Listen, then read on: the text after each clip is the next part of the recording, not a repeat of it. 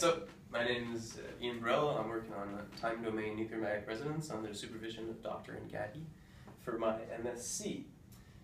If you've heard of NMR before, or nuclear magnetic resonance, you've probably heard of it in the context of determining chemical structure, where you, you have several peaks, and peaks represent different bonds.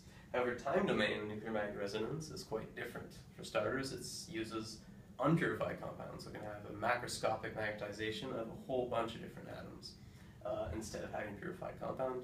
There's a different mathematical process to obtain a legible signal, and it's not just a Fourier transform. For starters, we need to obtain a nuclear magnetic signal, and to do that we need active nuclei, so not all nuclei are active. Subatomic particles, like protons and neutrons, have a spin. That spin produces a magnetic moment, and that magnetic moment is what's going to give us a signal. However, the spins on the protons and the neutrons make canceling moments. It doesn't cancel out the spin, just the moment. Uh, therefore, to be NMR active, you have to have an odd number of, well, an uneven number of protons versus neutrons. Luckily, hydrogen is just a proton, so it has no neutron to cancel out the magnetic moment.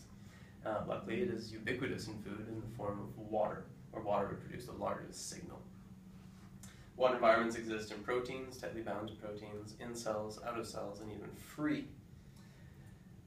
And uh, these protons act like bar magnets. A bar magnet is kind of what we see behind my slides. It produces magnetic field, and it lines up north-south with the south-north, right? So south points towards north, north towards south.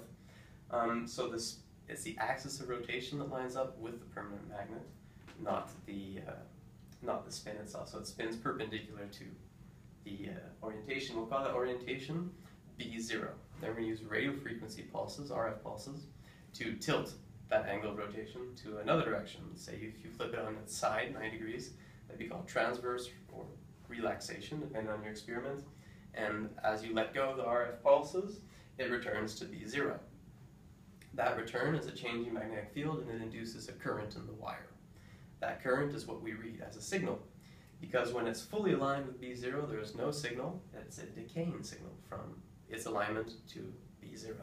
That's why our signal is called free induction decay, and also explains why it's called NMR, so nuclear active nuclei, magnetic resonance, and then you have radio frequency that causes the resonance and the tilting, thus NMR.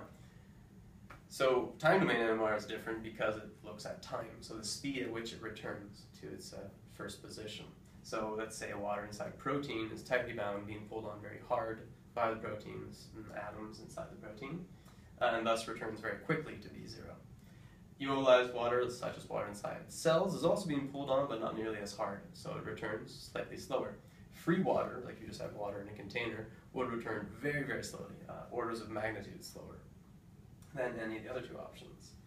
In meat, this doesn't tend to exist. But we'll talk about that later. So the process of obtaining a signal is uh, quite long and complicated with time domain NMR, as we can see here. And the signal itself uh, produces little to no information when you look at it. So this is examples of signals, um, and they look like that for almost all the samples. Uh, by eye, you can't really notice any sort of difference or obtain much information.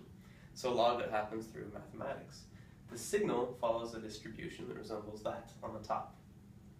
And if you recognize that section of the equation there, that's a Laplace transform by definition.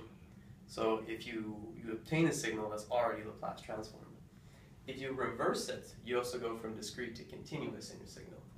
And in the case of meat, which I'm working on, if you get it right, you'll obtain three peaks. However, it's difficult to get it right because there's an infinite possible solutions that will obey that equation. So you have to set your initial values and boundary conditions correctly to obtain something like this. If you do, in the case of meat, it'll produce three peaks, each peak representing a different uh, water environment. So the first is that found in protein. The second is intramyofibular, which is basically water stuck in cells, but for meat it's called myofibular. Extramyofibular is outside of the cells. There's no such thing as free water in this case because it would simply leak out and we would lose it. The integral underneath each peak, the area under the peak, is the proportion of water pertaining to that section of the meat. And that gives us a lot of information like I spoke of before, transverse relaxation, where we tilt it on its side and let it come back, and if it produces three peaks, will correlate strongly with water holding capacity. The scientist, is interesting because for the consumer, it translates to juiciness and tenderness of the product, two very important quality attributes. So as you can see, it's quite useful, and there are many benefits. It's non-destructive, you can sell the sample afterwards, It's fast, takes only about 30 seconds, safe, no chemicals, no danger, no grinding, no heat. Um, and if you use other experiments that aren't T2, for example, you can get fat content, protein content, unsaturation of the fat, degree of unsaturation, whoops, and uh, it can be used on non-meat products, although I was focusing on meat. Um, and it measures the whole entire product, not just the surface, like other forms of imaging might do. And it can be done in line on the conveyor belt in the facility. So lots of benefits. I'd like to thank uh, my primary reviewers, secondary reviewers, uh, Dr. Ngadi, and I learned NMR with this summer. Here are my references. Any questions?